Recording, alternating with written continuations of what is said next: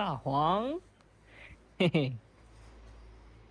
这两天看评论，有人在问吃了玉米芯那个家伙哪里去了？就是这个猪了，都已经长大了，而且它那个玉米芯一直都没有消化，现在还在它的肚子里。又忘记空腹给它称了，看看它吃饱了有多重吧。六十五点七，呀！过来，大黄，来，你，你走两步嘛，他就勾着我的手，走不动吗？上来，大黄，呀，是不是太胖了呀？啊，不想走吗？吓死了，吓死了，这是真的吓死了。让他和小伙子见见面，说不定以后能处成好朋友呢。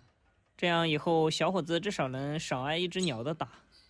嘿嘿嘿嘿嘿来，小伙子，看看他，这个猪害怕他，看着他这么大一坨，哟，他还想动嘴，来，上来，别怕别怕，它不会咬你，它还小，看吧，小伙子真的是又菜又爱玩。把大黄拿走了，他就追过来了。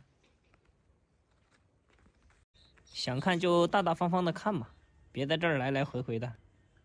感觉大黄比他都还紧张，一直在拼命抓着我的手，动都不敢动一下。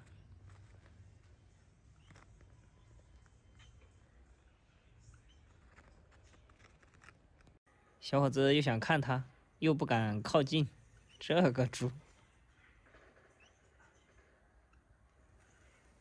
小伙子，哼，去看嘛，它不会咬你啊！过来，来，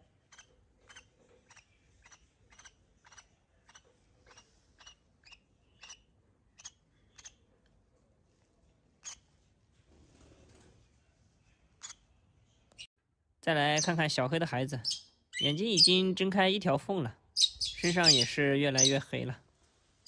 哎呦，你叫什么嘛？看嘛，你孩子你不认识吗？这小黑还害怕，给他放回去了，每天检查一次就够了。